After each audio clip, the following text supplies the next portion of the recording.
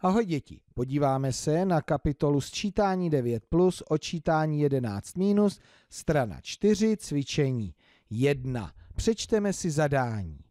Podle příkladů škrtejte geometrická tělesa a pojmenujte je.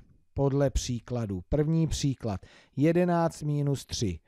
Škrtejte geometrická tělesa. Jaká geometrická tělesa? Co to je tohle žluté? Koule, správně, tak já to zrovna zapíšu. Koule. No. Geometrické těleso mám pojmenované, ale teďka mám přece jenom škrtat. 11 minus 3. On někdo už určitě ví, kolik to je. Kolik? Říkáte, že 8? Tak schválně minus 1, minus 2, minus 3.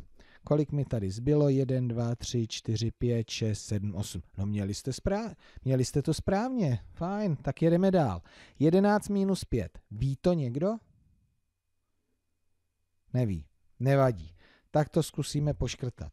Minus 1, 2, 3, 4, 5.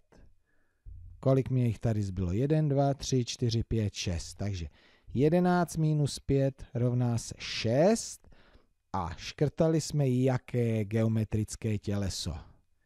Kostičku? Ne, ne, krychli, krychle. Napíšeme krychle. K, R, jaké I? Měkké nebo tvrdé? Tvrdé, že jo? R je tvrdá souhláska. Kry, ch, le, krychle. Tak, další příklad. 11 minus 4. To víte. Aha, to už tam slyším. 3. Protože bez jedné je to 10 a ještě bez dalších 3 je to ne, 7. My jsme udělali chybu. Tak to je takhle. Takže musíme se podívat na to. 11 minus 4, bez jedné je 10 a bez dalších 3 7. Už bychom udělali chybu, ještě, že jsme se opravili. Tak, a co jsme to škrtali? Válce. Válec. Válec. Tak zkusíme ještě jeden řádek a musíme si dát pozor, abychom neudělali chybu jako před chvílí. Tak 11 minus 9. Tak to radši poškrtám bez jedné, bez dvou, bez tří, bez čtyř, bez pěti, bez šesti, bez sedmi, bez osmi, bez devíti. Tady mi zbyly dvě, ano.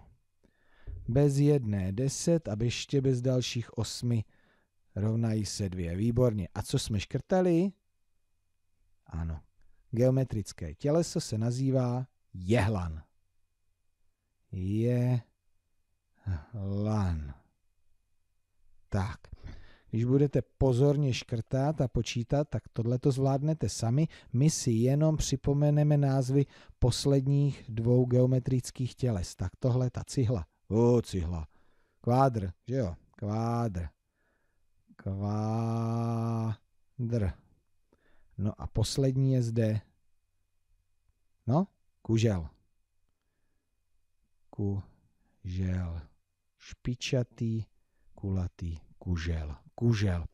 Koulek, rychle, válec, jehlan, kvádr, kužel. Snad to máme napsané dobře, no a vy to dopočítáte, poškrtáte, no a všechno zvládnete.